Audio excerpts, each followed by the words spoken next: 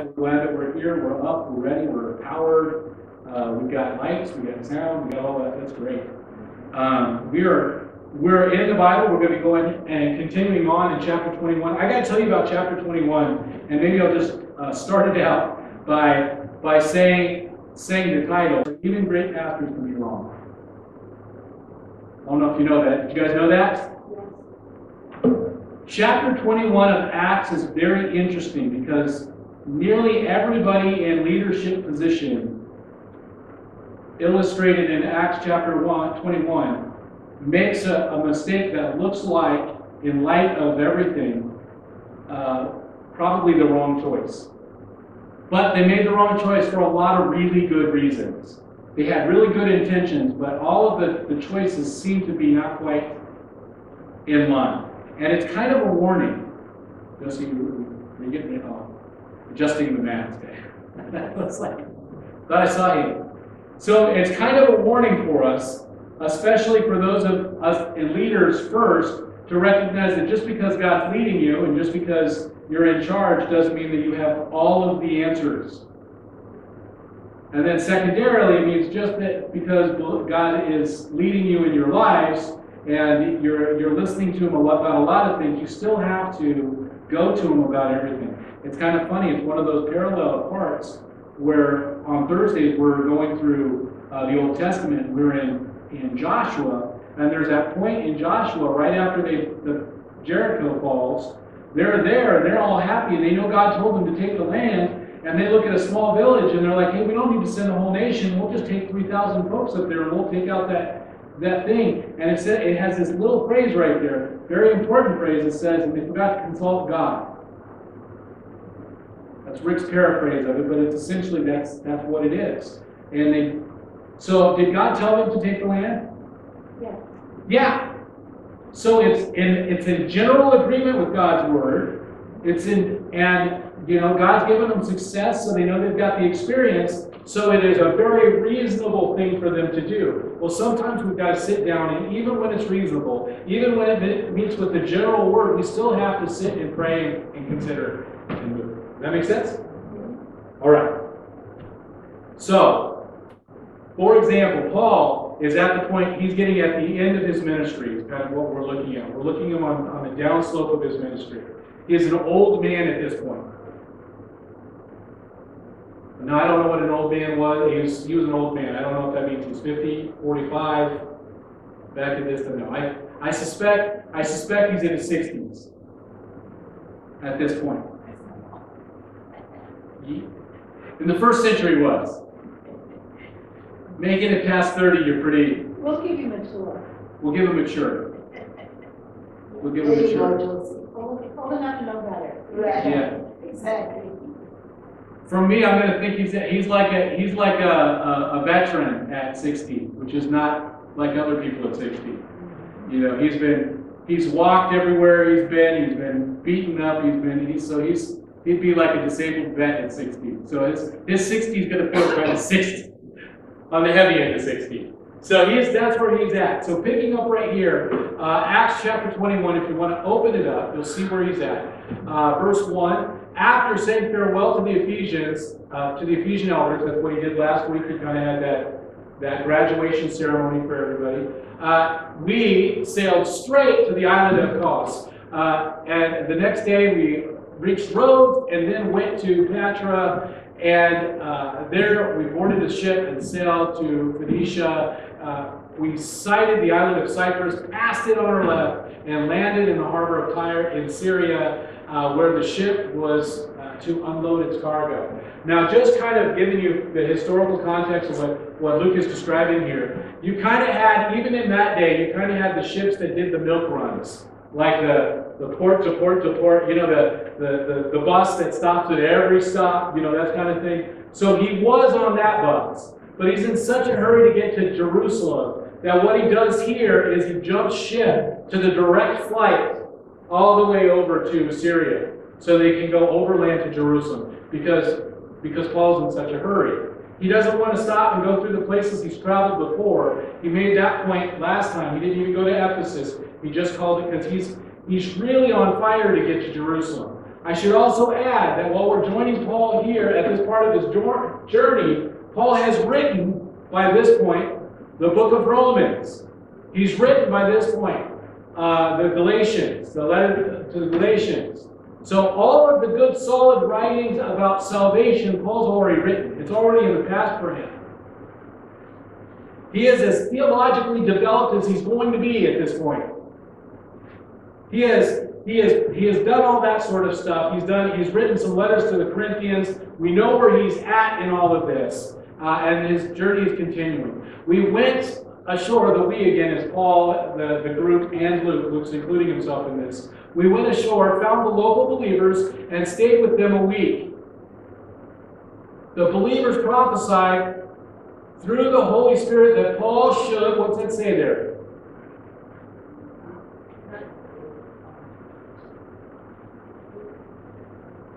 Should not go on to Jerusalem. Interesting. These believers prophesied through the Holy Spirit that Paul should not go to Jerusalem. When we returned to the ship at the end of the week, the entire congregation, including women and children, left the city and came down to the shore with us. There we knelt, prayed, and uh, said our farewells. We went aboard, and then they returned home. Now,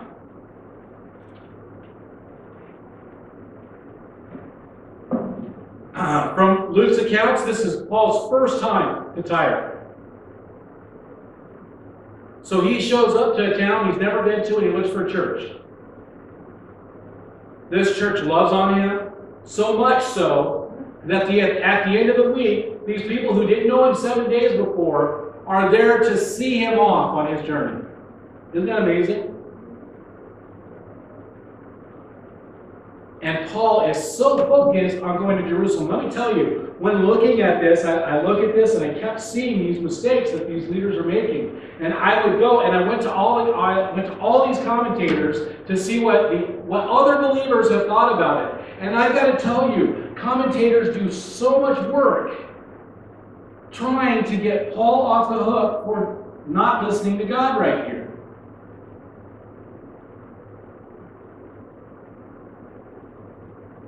But I'll quote one of them right here. They said, they, uh, well, I'll do a paraphrase of what they said. They said, well, the plainest read is that Paul disobeyed God. I think Luke wrote it as the plainest read. Now, one person points out that, well, they don't use the strong, he doesn't use the strongest knot that they could use for the not going to Jerusalem, so maybe. Now, really, what they're trying to do is they're trying to protect Paul. Now, is Paul's letters that are in the Bible inspired by God? Yes. Is that scripture and important? True, true, true, right?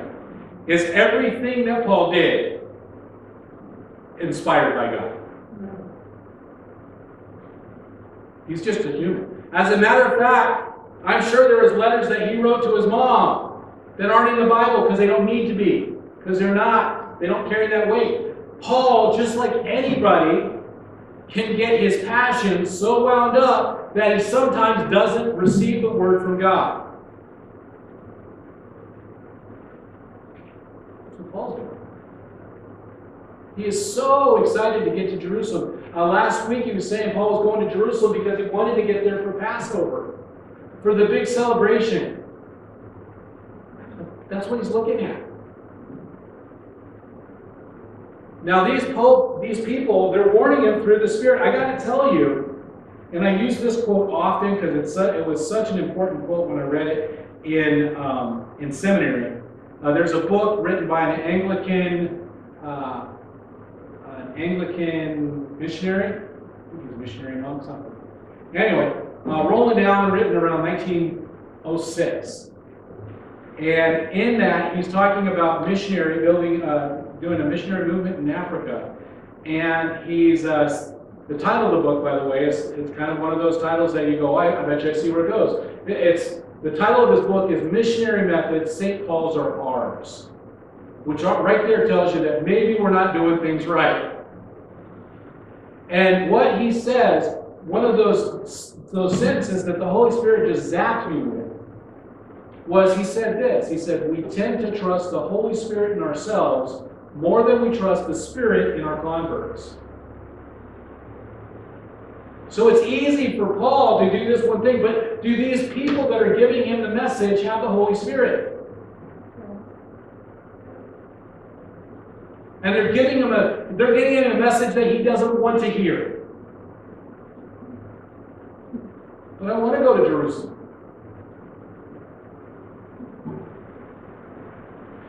Guys, it's important. And I, I know I'm going to say several times about how the leaders are failing here in this, but, but hear this. This is a warning not only to leaders, this is a warning to everybody in every element of there. That first of all, you have an ownership in my life as well.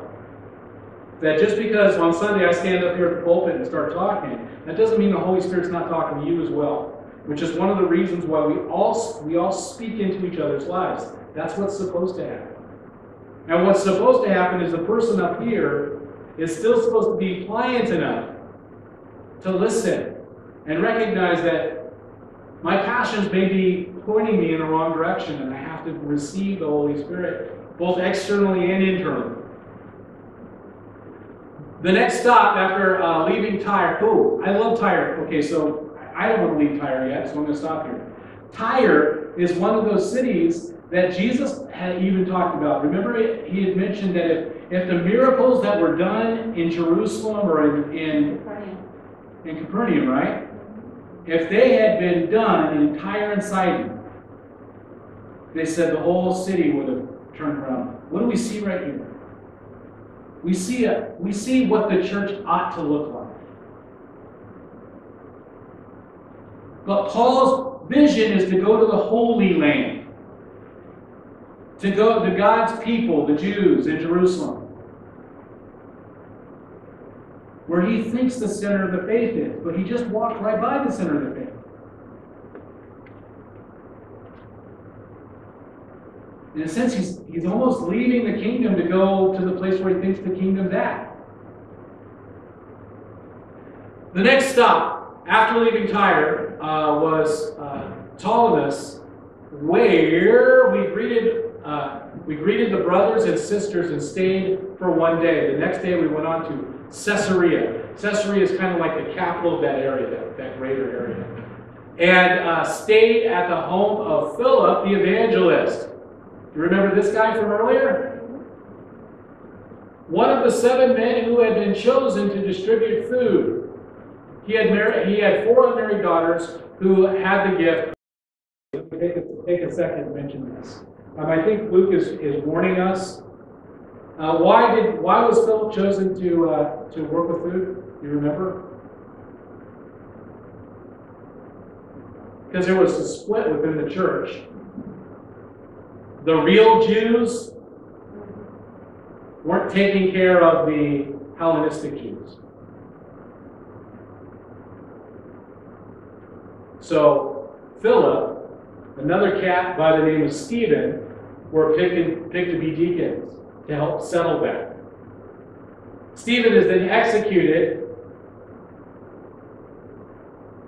by men, of which Paul was one. He approved of.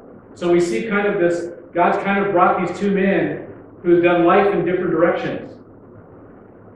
Philip was eventually driven out of Jerusalem by persecution. And what did he do when he left Jerusalem? He witnessed in Samaria. He witnessed in to some random guy, some random Ethiopian that was out there. He was an evangelist. He took the message. He followed the Great Commission with his life outside Jerusalem. And here he is there. Uh, we see that his daughters are even pastors. Who wait, I don't know what to say that. Prophetesses. Empowered to say, Thus saith the Lord.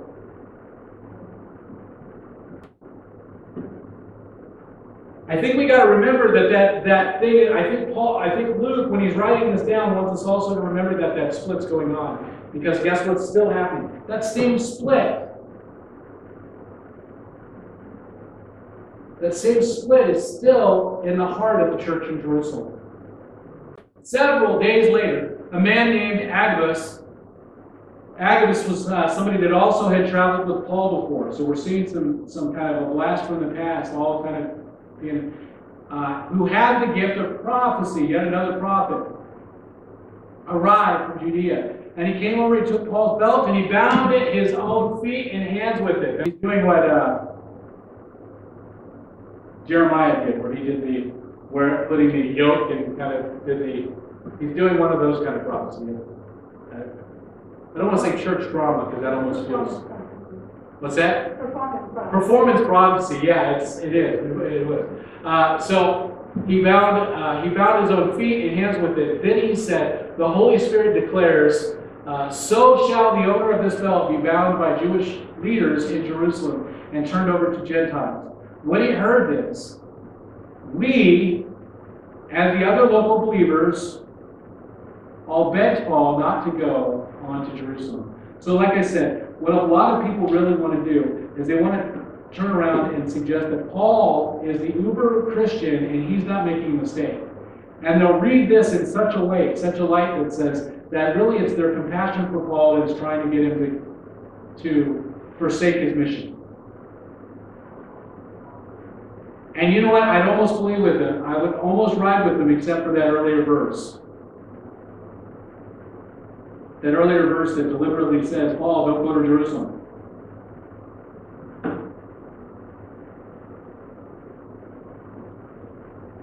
Um, you know, there was one person, one prophet that had pointed out this. Uh, sorry, one of the translators, uh, one of the commentators, had made the, the, the statement, and I really like it. They said that that first prohibition of God, uh, Paul from going to to there really almost almost also reads uh, like stop going to Jerusalem. And I sat down, I thought about it, and I said, you know what? I think that there's a, a strong truth to this, because really what Paul is doing here is he's trying to keep Jerusalem as the head of the church. He's trying to keep Jerusalem as, as the organizational head of the church.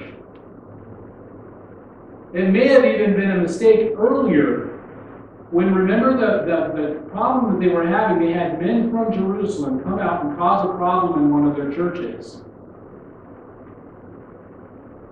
about Gentiles being believers, even after the Holy Spirit had empowered them. So what happened is, is the Gentile church sent Paul and some other people to Jerusalem to say, well, what are we supposed to do? Again, giving Jerusalem the power to choose what the right thing to do is. And Jerusalem at that point wisely decided that they're just going to side with whatever God does. In other words, God must have accepted them. So Gentiles are believers. But they don't have to adhere to the law, is what they said. Don't eat blood. Refrain from sexual immorality. But when we see here Paul's drive to go to Jerusalem, I'm telling you, uh, he has just written the book of Romans, so we know exactly why Paul wants to go to Jerusalem. He wants to go to Jerusalem because of Romans chapter 9. In Romans chapter 9, he straight up says, If I could give away my salvation to save my nation, I would.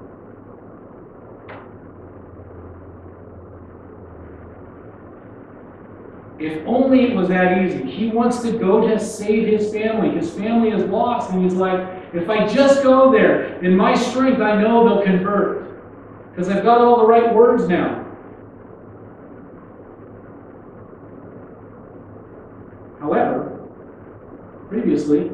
He had been in Jerusalem, and, and God had told him not to be in Jerusalem, to head out. Here, as he's, he's on that headlong run in there, God's put up a promise, don't go. But he is so, now, now, is it a good thing to want your family to be a believer? Is it a good thing for you want your nation to be a believer? These are all good things for him to want. The thing is, they weren't his mission. But then what if that uses a color? Ah, see, that's a that's an interesting thing. Um, I think we see here the truth that that there's a lot of things that we don't do that that uh, that don't do according to what God would have us plan, but He still uses. The easiest example is when somebody has a uh, has a divorce or has a has prison time in their past. And then they turn around and say, you know what, God used that time in prison to shape you. Well, that didn't mean that God wanted you to rob the bank. That makes sense? And really what we're seeing is we see a change, and let, let's look here. But he said, this is what how Paul responds, Why are you weeping? You are breaking my heart. I am ready not only to be jailed in Jerusalem, but even to die for the sake of the Lord. When it is clear that we couldn't persuade him, we couldn't persuade him, he wasn't listening. We. Luke is also part of the group saying, Don't go, Paul. We gave up and said, The Lord's will be done. I got to tell you, what I believe here is what happened is this is that point where, and sometimes the warning that God gives us moves from if you do this to when you do this. Paul's dead set on doing this. Okay, when you do this, you're going to get jailed. Now, is it true that he was going to be executed? Yes. Was martyrdom going to happen? Does he get executed in Jerusalem? He goes to Rome to get executed. Interesting, right? And he writes in the book of Romans, even, even when he's like, I'm going to Jerusalem, he goes, I really want to be in Rome. That's where I'm supposed to go, so I'm hoping I can get there. And we look at it, and we go, oh, how great it is that God gets him all wrapped up and arrested and ends up taking him to Rome. Whereas had he just gone to Rome, he could have taken the boat the other direction. But he doesn't, because his desire to save this, this is such that he's not, I don't think he's clearly receiving. But back to us. There are times in my life where I think I've made the wrong choice, but God still used it. Or you can make the wrong commitment, and God still used it.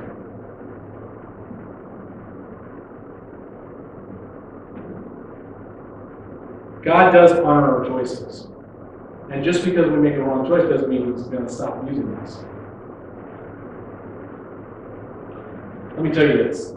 So, Paul, let me, let me fast forward. In a couple weeks, Paul is going to be uh, arrested in Jerusalem, and he's going to be drugged. So he just left Caesarea to go to Jerusalem.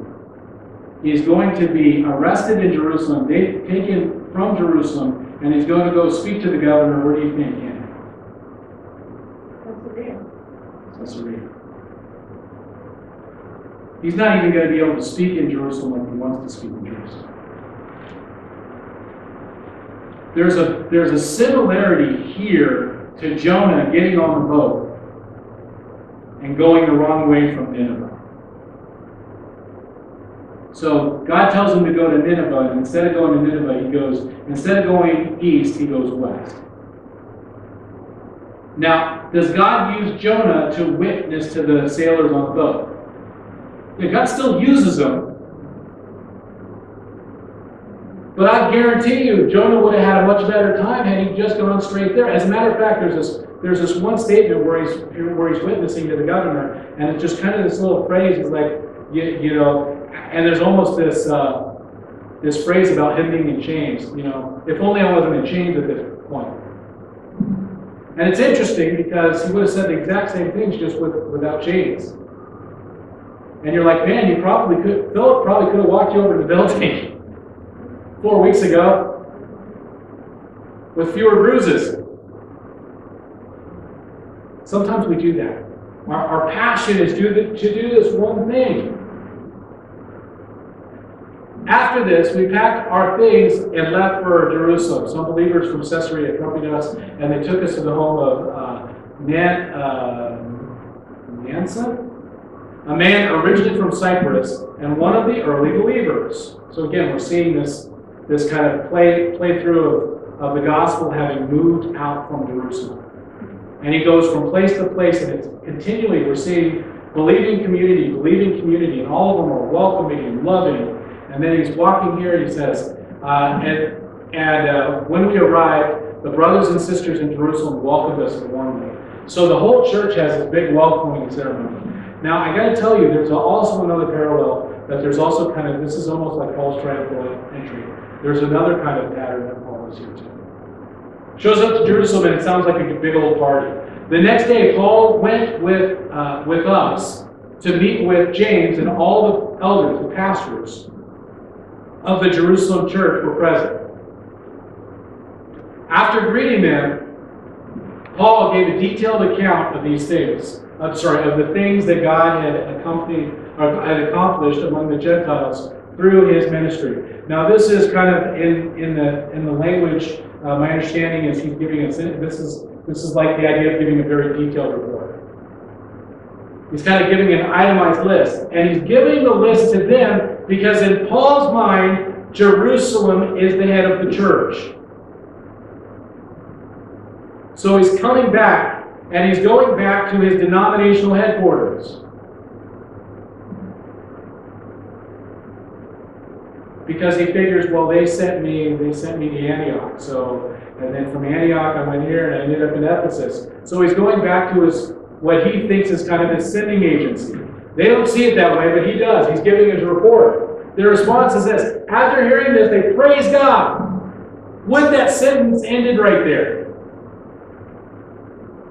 And then they said, You know, dear brothers, how many thousands of Jews uh, have also believed, and all the all the and they all followed the law of Moses very seriously. So really what they're, they're pointing out is, is what they're receiving from, from Paul is there's a whole lot of Gentiles that, that are believers. And they're not rejoice, they're not truly rejoicing that they're Gentile believers. They're reminding them that, hey, there's Jewish believers too.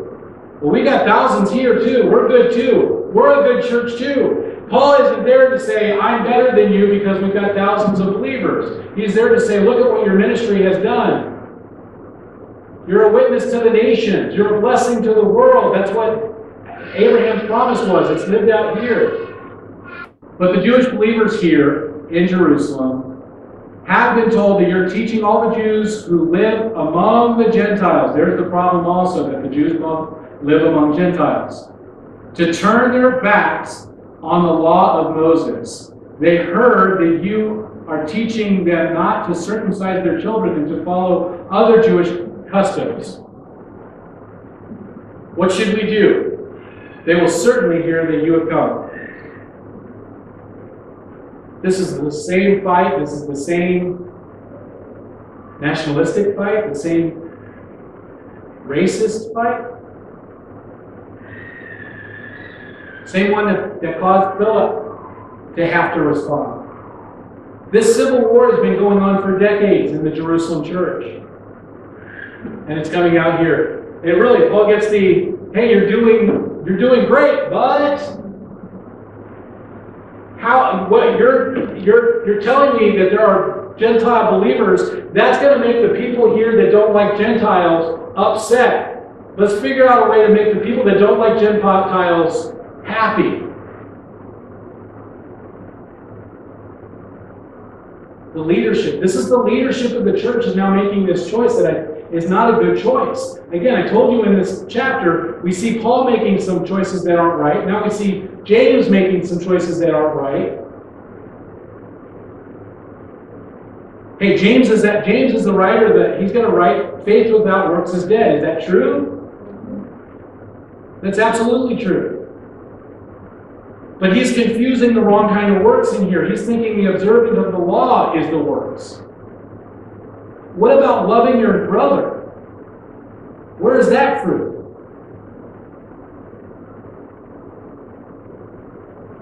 These people, he says, look, the fruit of their faith is that they're observing the law. I say the fruit of their faith is they're hating their brother. That's that's pointing to not the right fruit, not the right faith. Here's what we want you to do. We have four men here who have completed their vow. Go with them to the temple and join them in their purification ceremony, paying for them to have their heads ritually shaved. And uh, then everyone will know that the rumors are all false and that you yourself observe the Jewish law. Now, really, we can argue this. Hey, remember in, in, in Romans chapter 14, Paul makes that weaker, stronger uh, argument. So maybe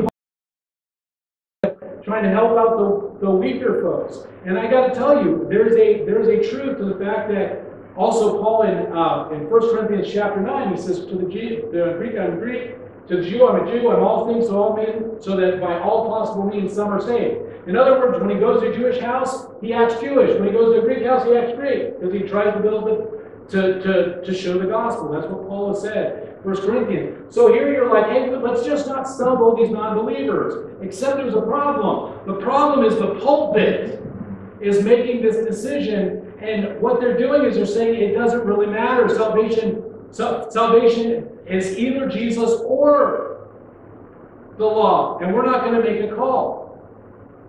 That's not good.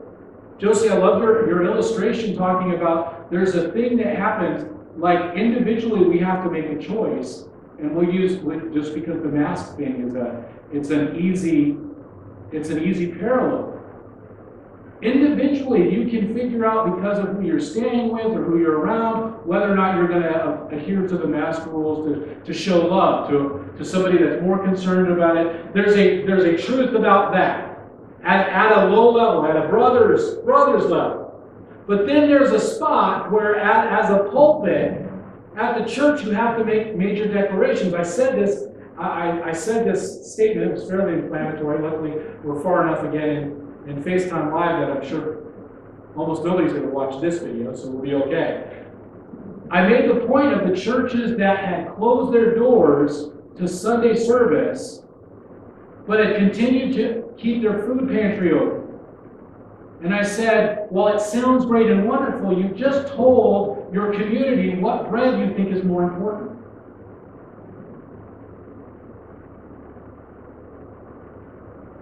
By Paul doing this, he is saying that, that we need to kill animals to be saved. He thinks he's trying to make things nice.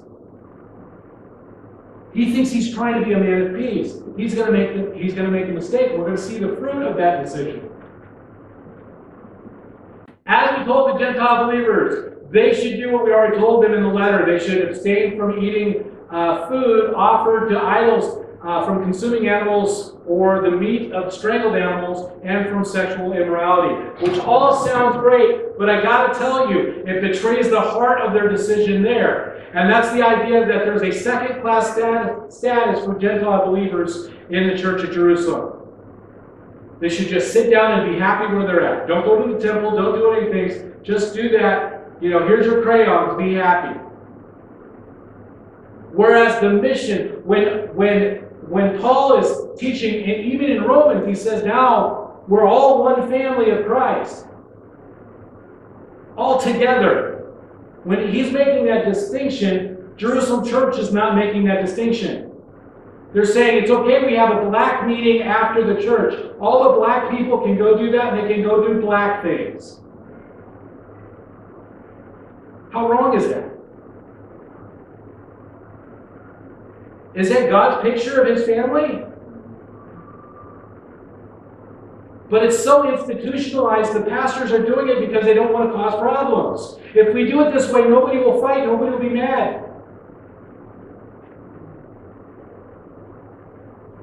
Well, what we have is we have the Gentile believers, and we have the real people of God, right, that are still adhering to the law. That's really what they're saying. So Paul went to the temple the next day, and went with other men, they were all already uh, started their purification ritual, so they publicly announced the date when their vows would end and sacrifices would be offered for them. So, first of all, again, the question in my head why are they offering sacrifices? Why is the animal dying?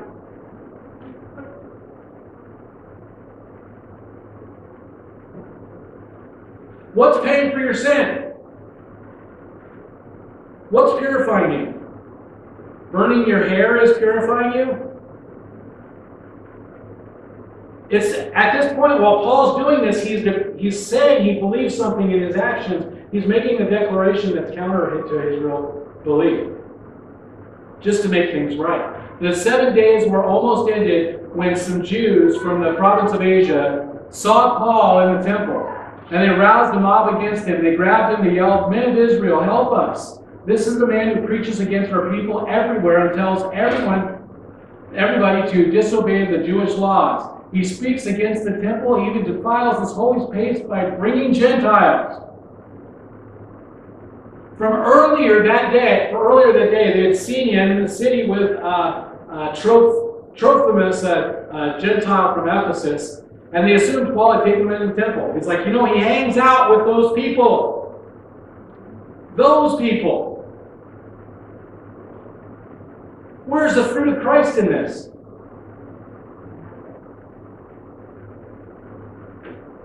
Now, I do say this these, these people that are bearing a false witness are hitting pretty, pretty doggone close to the truth. Why go to the temple? To see an animal killed? Jesus Christ, died on the cross, paid for your sin. To speak God's word? Man, he went from community to community that was sharing God's word and living it out together. The kingdom was there in Caesarea. It was there in Tyre. He had men that were, he had a church family in Ephesus that he didn't even stop to see because he was in such a hurry to get to Jerusalem.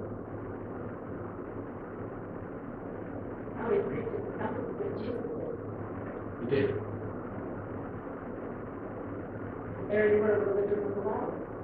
It was. And what we're going to see here is we're going to see this. This is kind of the ending of the. I'll tell you, after this, the, the church in Jerusalem has very little impact on it. This is it. This right here is the last time we see the church of, of Jerusalem being the driving force in Christianity. We're not going to see them again in Acts, with the exception of accusers are going to come from this area. We don't even see Peter here in Jerusalem. Peter's already in Rome. After this point in, in Christian history, you're going to see the church emerge in two places one around Constantinople and one around Rome.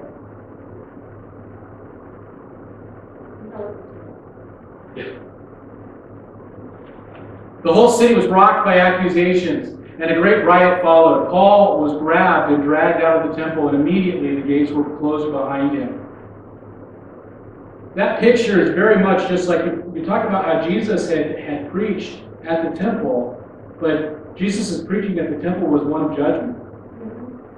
How this was an empty place. And his death tears the veil between God and, and the people. At that point, the, te- the nothing. It's just a place where there's a bunch of people. It's a good place for people to, to meet if, if you want to meet people. The whole city was rocked with, uh, by the accusations of the great right fallen. Paul was grabbed and dragged out of the temple, and immediately the gates were closed behind him. As they were trying to kill him, word reached the commander of the Roman regiment that all of Jerusalem was in a uproar. He immediately called out his soldiers and officers and ran down uh, among the crowd. When the mob saw the commander of the troops, they stopped beating Paul. And you do see that picture, I was saying that, that picture of him, the church closing, the temple closing its doors. When the commander arrested him and ordered him bound with chains, he asked the crowd what he was, uh, who he was, and what he had done. Some shouted one thing, some shouted another. Since he couldn't find out the truth, it was all in an uproar and confusion. He ordered that Paul be taken um, to the fortress. As Paul reached the stairs, the mob grew so violent that the soldiers had to lift him on their shoulders and to protect him. And the crowd followed behind him, shouting, Kill him, kill him. So you saw almost, this is a week, a little over a week, a week and a day after his great wonderful reading. And there is a, you had mentioned uh, the parallel to, to Christ. There's almost a parallel here. The same group of people, among the same group that warmly welcomed him at the beginning, are amongst that crowd that are hollering, "Cruci- kill him, kill him, Cruci- Sort of breaks your heart. Certainly broke Paul's heart. Ne- next week we're going to get, he's going to get one chance to make an address. We're going to see what's going to happen with the address. But uh, we'll talk about that. When we look at this for us, we got to remember that that, and I'll say it like this: I may be blinded by my own by my own intentions, good intentions, by my own passions. Therefore, we, we all must do this, because I, because I individually, because you individually, because we all individually can fly that way. That's why it's important that we speak into each other's life. We own a little piece of that life. That's why we need to be, be- ready to sacrifice whatever plan that we sit down and we say, this is my plan, thus saith Rick. We need to lay it out in such a way so that when, if the Holy Spirit leads us or leads other people to come in and say, hey, this is not it, we should be able to, to take it out. And, by the way, that also means we should be invested and prepared speaking the lives of other believers and prepared to hear from. Because, look at that. This lesson isn't just for leaders, for all of us. Within the community of God, that's, that's the, God lives in the community of believers. That's important. The Holy Spirit gives us all pieces of the puzzle so that we can all work together. What an amazing work we do when we work together. Let's pray. Heavenly Father, we thank you. Lord, we thank you that, that you have never left us, uh, that, that even when our passions uh, get so much that we are leaning over our skis, Lord, that you have other believers in our lives to come in and speak to us. Lord, we pray that we have the courage to listen to those people and to be right on the bubble. We, Lord, we're so grateful that even when, when sometimes we make mistakes, like like I believe Paul made mistakes or James made mistakes, that even when that happens, that you're not done working with any of them. That you continue to work through humans, even after their zealousness or their overeagerness or their passions uh, uh, get them out of, out of whack. Lord, we pray that if our passions get us out of whack, or as soon as that happens, that you, uh, you help correct us, you help put us in the right direction, so that we can be that we can be your community, your hands and feet here on this earth, that we can show love to our, brothers and sisters. Lord, when we look at this story, help us look like the church in Tyre. Help us look like the, church in Caesarea. Help us look like the church in Ephesus as it's uh, leaning and loving one another. And Lord, I thank you for a, community of believers that are all empowered by the Holy Spirit. We thank you for all these things. We pray in Jesus' name. Amen. The last thing I tell you is your blessing. I pray the Lord bless you, that He keeps you, that He makes His face to shine upon you, that He's gracious to you, and He grants you peace. Amen.